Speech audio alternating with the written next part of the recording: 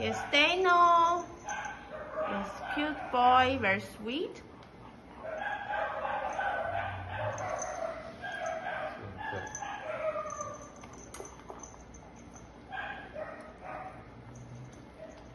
Good boy.